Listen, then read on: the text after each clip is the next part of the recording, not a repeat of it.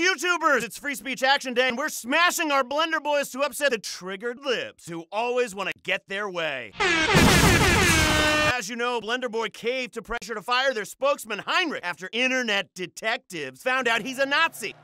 Cue the moral outrage. I hope you'll stop employing a real-life Nazi. They are bad. Boo-hoo! Is Snowflake melting? We didn't fight World War II to censor Nazis. Rehire Heinrich! Free speech! Sir, you have to pay for that. Oh, triggered much? This is how free speech gets suppressed, folks. I don't get paid enough for this shit. Welcome back. Recent polls say almost everyone doesn't approve of the giant tentacle monster currently demolishing our city's beautiful downtown. But some people are saying that the horror from another plane of reality murdering our loved ones is just the thing we need to shake things up. We spoke to them. I love seeing the media lose their shit over this, okay? Boo hoo, my home, my life. They're not even hiding their bias against tentacle monsters. I mean, it's not as bad as the media keeps saying. You know, ratings. Yeah, whatever. That place has been abandoned since the housing crisis. Ah! So downtown is being destroyed. You know what's downtown, right? The banks. You know who runs those, right? He knows. Oh, he knows. We'll, um, be right back with sports. There are certain words out there that certain people can't stand to hear. Moist. Bulbous. Cyst. I can't hear you! But nothing seems to rankle the lily white jowls of some like the word Reparations!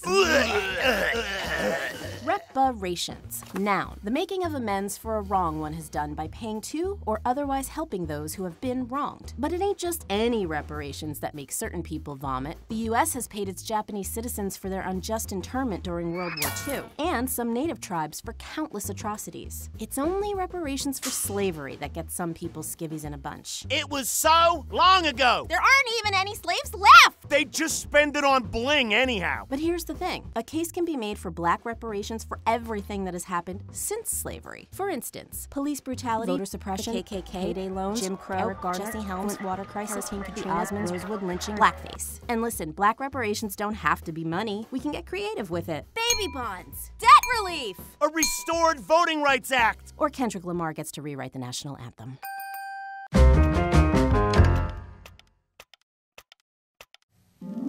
Dum dum, deedle dum dum, dum dum, deedle dum dum. There's a senator by the name of Mitch. Mitch the senator got very, very rich. Donald Trump tweeted and Mitch would never snitch, he knew just what to do. He'd hide and cower, hide and cower. He did what all Republicans learn to do. You and you and you and you. Hide and cower. Hide and cower. Be sure to remember what Mitch the Senator just did, all because he wanted tax cuts. And don't forget judges.